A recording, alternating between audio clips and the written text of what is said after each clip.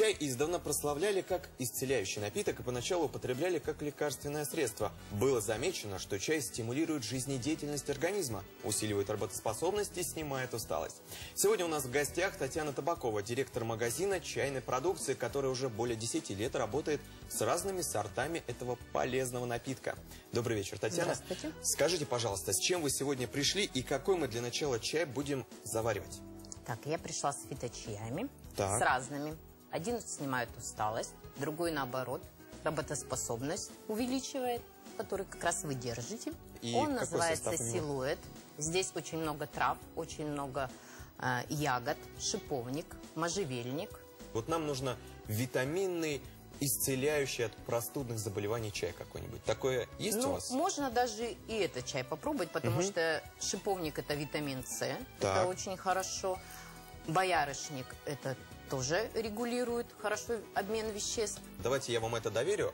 Кипяточек Давайте. будет у меня. Хорошо. Пожалуйста. Вот на этот чайничек берем три вот таких вот ложечки чая. И А заливаем. правда, что можно м, такие чаи заваривать несколько раз? Вот именно если к этому сорту. Ну, фиточай заваривается вообще один раз. Это зеленый, если чай китайский, он заваривается несколько раз, 5-7 раз, а то и 10. А остальные сорта, которые вы сегодня принесли, чем отличаются вот от этого уже заваренного? Так, вот этот чай хочу представить. Это бодрое утро, то есть его хорошо пить утром. Здесь идет и имбирь, идут э, специи.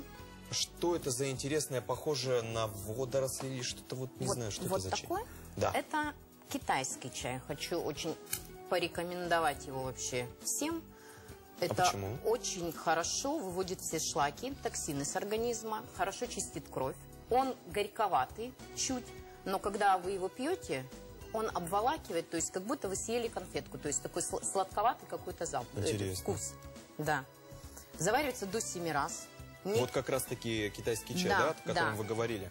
Предлагаю приступить к чайной церемонии. Итак, я думаю, готов у нас уже э, Да, чаек. конечно. Итак, мы просто обычным образом его заливаем, правильно? Да, да. Пожалуйста. Мгм, Спасибо большое. Так можно ли добавлять сахар, если, например, чай немножко горьковат? Или все-таки не стоит? Ну вот я бы не рекомендовала. А почему? Ну, сахар убивает, если честно, все свойства, в принципе. И Мгм. чая, даже в китайский чай не рекомендуется класть сахар. Очень вкусный чай.